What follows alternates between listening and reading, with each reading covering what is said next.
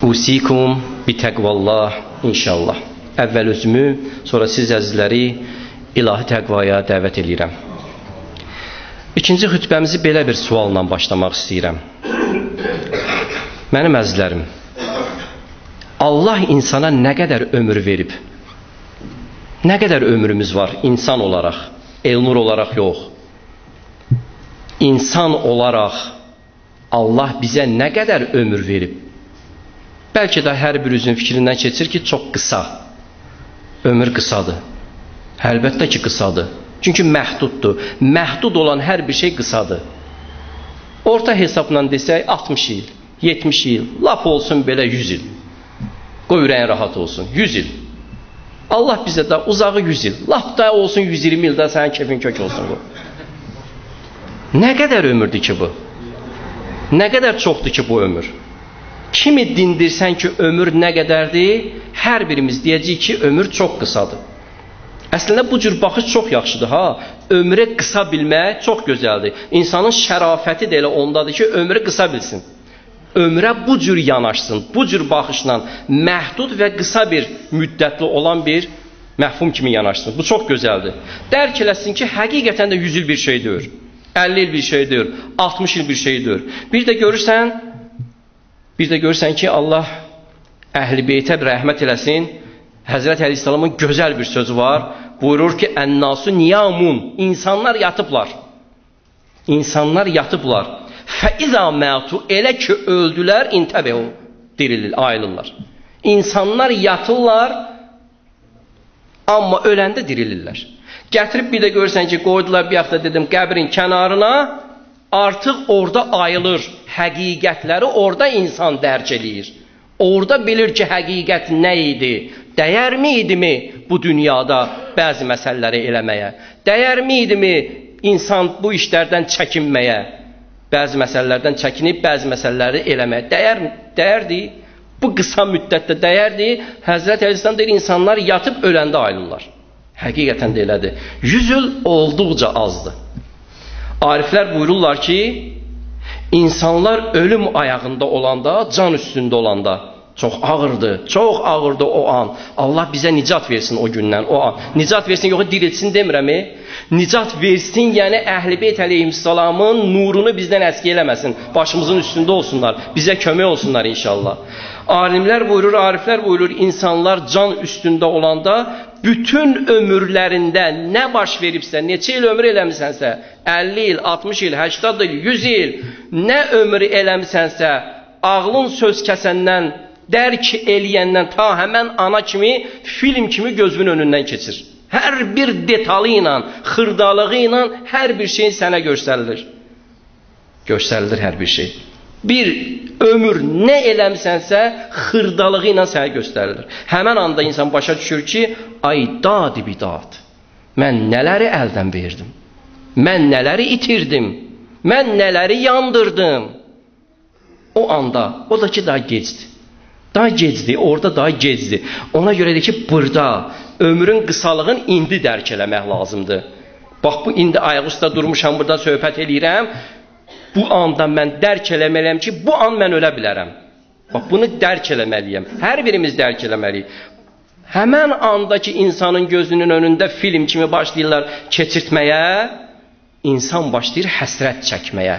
İnsan başlayır peşmançılıq hissi gör. Buyururlar ki, həmən o həsrət ki var, həmən o peşmançılıq ki var, o peşmançılıq hissləri ki var, can verənin ən ağır acıları da olar.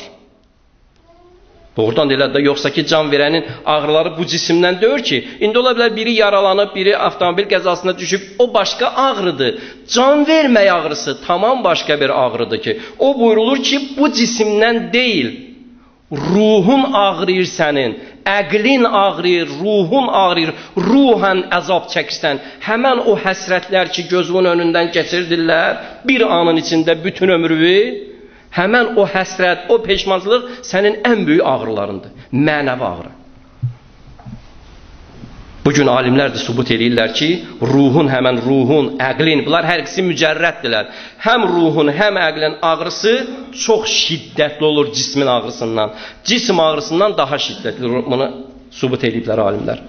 Hədis var buyurur, çox gözəldir, buna diqqət eləyin, xahiş edirəm. Həm tarixdir, həm hədis kimi imamların dilindəndir. Buyurur ki, hə, Cənab Əzrail əleyhissalam Həzrət Nuh peyğəmbərin canını almağa gələndə. Nuh peyğəmbər kimdir bilirsiniz da? Nuh peyğəmbər ulul əzm peyğəmbərlərdən birincisidir. Ulul əzm peyğəmbər neçə idi? 5. Birinci Həzrət Nuh peyğəmbər idi. İkinci İbrahim əleyhissalam, Həzrət Musa, dördüncü Həzrət İsa və sonuncu peyğəmbər. 5 ulul əzm peyğəmbər olub. Yəni 124 min peyğəmbərin içindən Allah bu 5 dənəni seçib. Bu 5 nəfəri seçib. Ulul əzm nə deməkdir? Allah Taala Əhqaf surəsinin 35-ci ayəsində ulul əzm kəlməsini qeyd edir, zikr eləyir orada. Yəni sahibi şəriət, şəriət gətiriblər. Din yeni din gətiriblər, şəriət gətiriblər. Onlara kitab nazil olub. Bütün hamısına nazil olmayıb ki, bu 5 nəfərə nazil olub da. Obsləri də səhifə nazil olub filan, amma şəriət gətirmək, əsas məsələ şəriət gətirmək və imam olublar bunlar həm də. Həm də imam olublar. Obslər olmayıblar axı. Və bunu da bilin ki, Həzrət Nuh əleyhissalam peyğəmbərlərin sırası ilə gələndə birinci Həzrət Adəm əleyhissalamdır, dördüncü Həzrət Nuh peyğəmbərdir. Adəm əleyhissalamın evlatlarından doqquzuncusudur, yəni doqquzuncu nəsildir. Nuh peyğəmbər, e, Adəm peyğəmbər, dalıcan gəlir Şeys, dalıcan gəlir İdris, İdrisin oğlu Həzrət Nuh. 124 nəfərin içindən dördüncüsüdür, Ulul Əzmin peyğəmbərlərin içindən də birincisidir. Yəni şənin demək istədim sizə. Bilin ki, Həzrət Nuh kimdir. Ənkabut surəsinin 14-cü ayəsində Allah buyurur ki, Nuh o qədər ömür eləyib ki, 950 il ancaq nə edib? Peyğəmbərlik eləyib. İndi ömrün nə qədərdir bunu Allah bilir. Qurani-Kərimdə ən çox adı çəkilən peyğəmbərlərdən Həzrət Nuh peyğəmbərdir. 28 surədə 43 dəfə Həzrət Nuh peyğəmbərin adı çəkilib. 28 surədə müxtəlif yerlərdə 43 dəfə Nuh peyğəmbərin adı çəkilib. Nə qədər ömr eləyib? Bəzi tarixçilər yazırlar ki, Nuh peyğəmbərə hələ peyğəmbərlik veriləndə 850 yaşı var idi. 850 yaşında peyğəmbərliyə məbus olub seçilib. İslam peyğəmbəri 40 yaşında seçilmişdi. 850 ildən sonra 950 il xidmət eləyib. 950 ildən sonra o tufan hadisəsi baş verib. Sonra tufandan sonra 200 ildə ömür eləyib, bu elədi 2000 il, bəzi tarixçilər deyir ki, yox 2500 il ömür eləyib. Bununla işimiz yoxdur. Yəni ömrü deyirəm də, ömrün çox qısa olması. İndi baxın, Cənab Əzrail əleyhissalam enib Həzrət Nuh peyğəmbərin xidmətinə ki, onu qovuşdursun haqqı Teala'ya. Nuh peyğəmbər oturub günün altında özü üçün. Cənab Əzrail əleyhissalam gəldi, salam verdi dedi, məqsəd gəlişinin məqsədini bəyan eləyir. Nuh peyğəmbər buyurur ki, icazə ver onda keçin bir kölgəliyə. Günün altında oturub da, keçin bir kölgəliyə. Həzrət Əzrail əleyhissalam icazə verir, keçir kölgəliyə. Kölgəlik də nə idi? Özünün dikdiyi balaca bir koması. Gəlir, girir içəri, Həzrət Əzrail əleyhissalama deyir ki, uzanım, yoxsa elə oturum.